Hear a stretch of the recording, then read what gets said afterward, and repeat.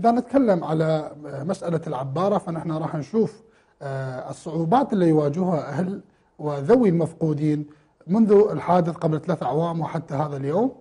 آه، أغلب آه، الأشخاص المفقودين اللي قدر عددهم ما بين الستين إلى 80 شخص اللي لم يتم العثور عليهم حتى الآن واللي يعتبر مصيرهم مجهول إلى حد هذه اللحظة ما انصدرت لهم شهادات وفاة ولا يتم معاملة ذويهم أو إكمال أوراق ذويهم بسبب فقدانهم لأوراق ومستندات كانت معهم آه، أثناء آه، الرحلة أو أوراق اختفيت في فترة آه، فيما بعد. فهنا يعانون الضحايا من مشاكل قانونية. نجي على المشكلة الرئيسية اللي صارت من خلالها الحادثة. بعد الحادثة البرلمان العراقي ورئاسة الجمهورية ورئاسة الوزراء اتحدوا معا وأخرجوا محافظ نينوى الاسبق نوفل العاقوب. باعتباره هو المتسبب الأول والأخير عن الحادث ولكن نحن ما شفنا أي عملية محاسبة للدفاع المدني ودائرة الاستثمار ودائرة السياحة والشرطة النهرية التي آه، هي جزء كبير من مهامها. هو كان منصب على حماية آه، المدنيين اللي يتنقلون ما بين الجزيرة والضفة الثانية. كأنما انكسر آه، مثل ما نحن نقول باللهجة ما انكسر القحف براس واحد والبقية طلعوا من الموضوع وكأنما ما لهم أي دخل وكأنما ما لهم أي علاقة.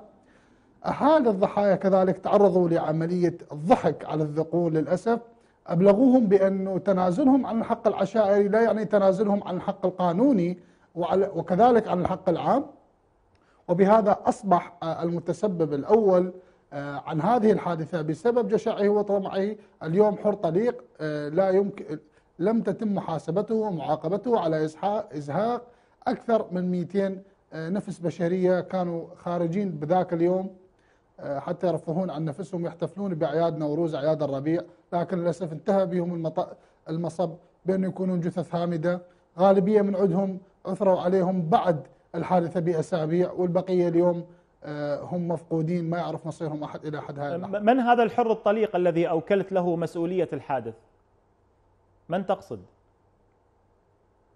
المستثمر طبعا المستثمر الذي بسبب جشاعته وطمعه و آه، رغبته في تلقي المزيد من الأموال حمل أعداد أكبر من آه، الأعداد المنصوص عليها ضمن قوانين السلامة على متن العبارة مما تسبب بهذه الحادثة. نعم أرحب بك مجددا سيد سعد. وبالنسبة للتعويضات هل أعطيت لذوي الضحايا أم أنها مثل المعاملات الأخرى ركنت على الرف؟ شوف هو بالبداية أخذوا تعويض آه، من آه، جهة مدنية بالتنازل عن الحق العشائري كان 10 مليون دينار. أما كجهات حكومية ما عوضتهم أي شيء إلى حد هذه اللحظة. البرلمان العراقي صوت على اعتبارهم شهداء كان تصويته فقط تصويت حبر على ورق. لم يتم إلزام أي جهة آه، لم يتم إلزام مؤسسة الشهداء العراقية بإعطائهم تعويضات ورواتب لذويهم. حتى تكييف النص القانوني الخاص بحادثة العبارة ذهب آه، على أنه آه، إهمال وتسيب آه، على العكس من الحادث الحقيقي اللي كان بسبب سطوة جماعات معينة على هذه المكان وتأثيرها على عمل العبارة وعلى عمل الجزيرة السياحية. والضغط على المستثمرين هناك من أجل استحصال أموال أكثر كأتاوات تدفع لهم. ما دخل هذا الموضوع كله بالحادث. دخل كأنما هو إهمال وتسيب من قبل آه، آه، المستثمر وإهمال وتسيب من قبل المهندسين الموجودين آه، بعض العوائل مشت بموضوع ملف التعويض ولم تتنازل عن حقها العشائري وحقها المدني في القانون العشائري والقانون المدني. اليوم هي متوقفة معاملاتهم عند دائرة الشهداء بسبب ملف المساءلة والعدالة. يعني هو شهيد وتوفى وذهب إلى رحمة الله. شنو دخل موضوع المساءلة والعدالة وحزب البعث وغيره بهذه الأمور؟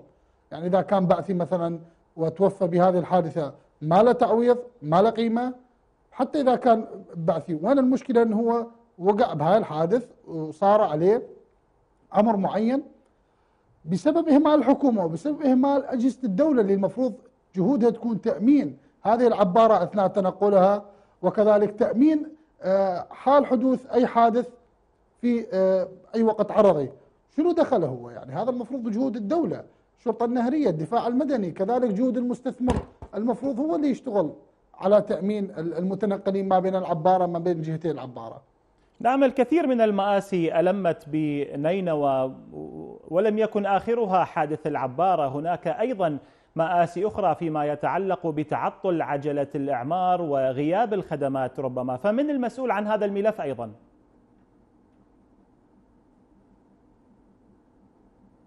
بالتأكيد الأحزاب السياسية المسيطرة على المشهد السياسي داخل المحافظة هي مستحوذة آه، على صوت المحافظة في داخل البرلمان العراقي وكذلك في آه، آه، الحكومة التنفيذية في مجلس الوزراء كذلك هنا في الدوائر الخدمية داخل المدينة. هذه المشاكل كلها تنصب وكلها تلتحق بالأحزاب التي تسيطر على المحافظة ولم تجد إلى حد هذه اللحظة حلول لمشاكل المدينة لأزمات المدينة. كل يوم نحن نصحى على أزمة جديدة داخل هذه المحافظة منذ عام 2017 حتى هذا اليوم لم نستيقظ يوما على آه، صباح طبيعي ونهار طبيعي تعيشها هذه المحافظة وهذه المدينة بالتحديد. هنالك جهات تتعمد إذلال. المواطن داخل آه، مدينة الموصل.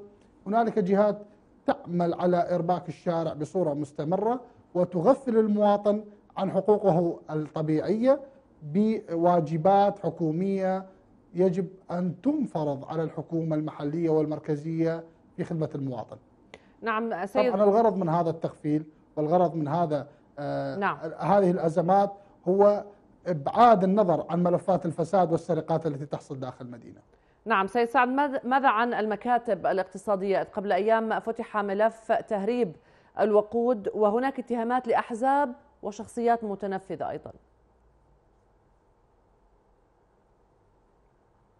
إلى الآن ماكو أي أدلة، النواب بالبرلمان العراقي تقريبا أربع أو خمس نواب قالوا بأن هنالك تهريب. وتحدثوا عن وجود آه، بعض الجهات التي تعمل على تهريب المنتوج النفطي لكن لم يثبتوا هذا الشيء لا أمام الحكومة المحلية لا أمام الحكومة المركزية ولا أمام القضاء العراقي، لا نستطيع أن نؤكد أو ننفي أي أمر من هذه المواضيع التي تثار، لكن نتوقع نحن مثل ما يتوقع آه، النائب في البرلمان اللي هو ممثل آه، عن المحافظة نتوقع وجود آه، عمليات تهريب لأن حصة محافظة نينوى هي مليونين و400 ألف لتر يوميا. وأتوقع ونتوقع نحن كمراقبين آه، كمواطنين بأن ما يصلنا من حصص هو أقل بكثير من هذا الرقم. كذلك لدينا آه، تساؤلات واستفسارات مهمة حول المنتوج الموجود داخل مخازن شركة توزيع المشتقات النفطية. فبدقائق معينة نرى بأن هنالك منتوج وفير عند حصول زيارة مفاجئة أو عند حصول وضع آه، غير مألوف أو غير طبيعي داخل المحافظة. وبدقائق أخرى نرى بأن هنالك أزمة وطوابير كبيرة آه، آه، أمام المحطات وصعوبة الوصول إلى المحطة من أجل التزود بالوقود. يعني الأمر واضح بأن هنالك تعمد في هذه الأزمة.